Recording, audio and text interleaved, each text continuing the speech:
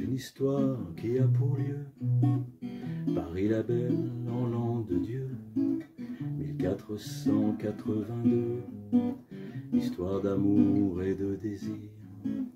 Nous les artistes anonymes De la sculpture ou de la rime Tenterons de vous la transcrire Pour les siècles à venir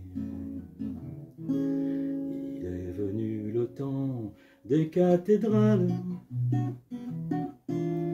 Le monde est entré dans un nouveau millénaire, l'homme a voulu monter vers les étoiles,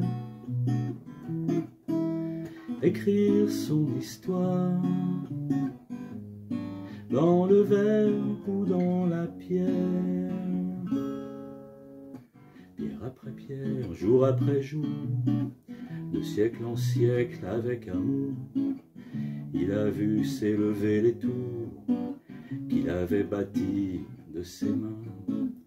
Les poètes et les troubadours ont chanté des chansons d'amour qui promettaient aux gens humains de meilleurs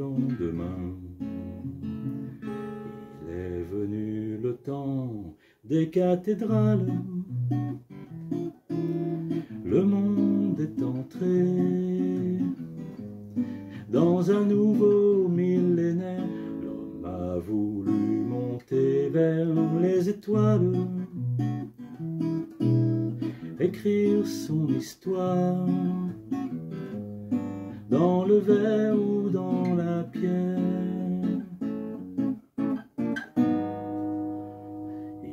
Foutu le temps des cathédrales la foule des barbares est aux portes de la ville.